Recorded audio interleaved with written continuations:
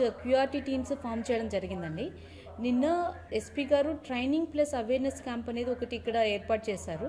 డిపిఓలో ఉన్న స్టాఫ్ అందరికీ నిన్న అవేర్నెస్ క్రియేట్ చేయడం జరిగింది. ఏం చేయాలో ఏం చేయకూడదు అని.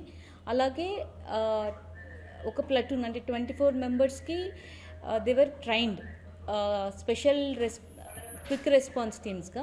ఇప్పుడు మెడికల్ డిపార్ట్మెంట్తో కూడా మేము చాలా కోఆర్డినేట్ చేసి పనిచేస్తున్నాం. ఇన్ఫర్మేషన్ రాగానే వీళ్ళు వెళ్ళడం జరుగుతుంది for isolation and for moving the patients to the isolation ward. అది కాకుండా చెక్ పోస్టులు సెవెన్ చెక్ పోస్టుల దగ్గర మెడికల్ డాక్టర్స్ ఉన్నారు. వాళ్ళతో పాటు పోలీస్ పర్సనల్ కూడా పోస్ట్ అయి ఉన్నారు టు హెల్ప్ దెమ్.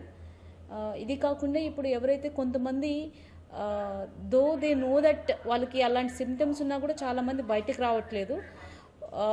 అది చాలా తప్పు. That will harm others also అట్లాంటి వాళ్ళు వాలంటరీగా వస్తే బాగుంటుంది.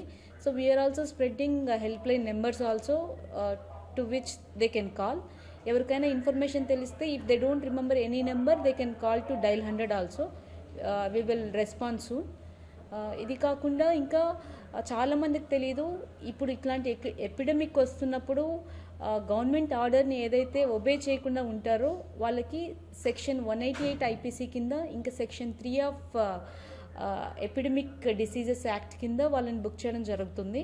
అలాగే దయచేసి ప్రజలు ప్యానిక్ కాకండి. ఫాల్స్ రూమర్స్ అనవసరంగా స్ప్రెడ్ చేస్తారంటే దానివల్ల ఇంకా నష్టం జరుగుతుంది. అలా ఎవరైతే వాంటెడ్గా ఫాల్స్ రూమర్స్ స్ప్రెడ్ చేస్తారో వితౌట్ గుడ్ ఫెయిత్ వాళ్ళని కూడా section fifty four of disaster management act two thousand five కింద బుక్ చేయడం జరుగుతుంది. So please take enough precautions.